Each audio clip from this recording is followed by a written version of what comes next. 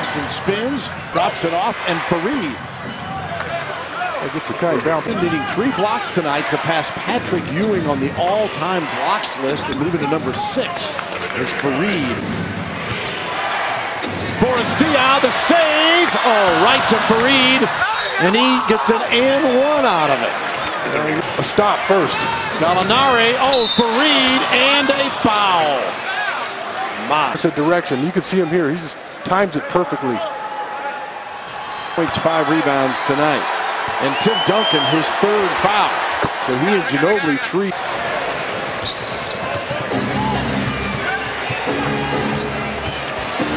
Faried, oh, if it's Duncan.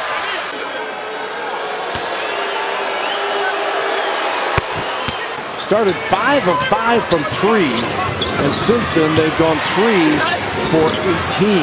and then wow. Denver and five minute mark.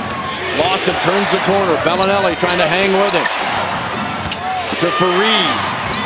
Off the glass. Eight seconds on the shot clock as Lawson attacks again.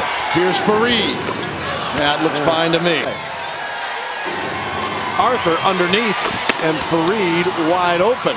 Following the Chicago game Yeah. on Sunday. And now I heard Timmy's jersey comes with a free tetanus shot. Faried got his own and scores with 14.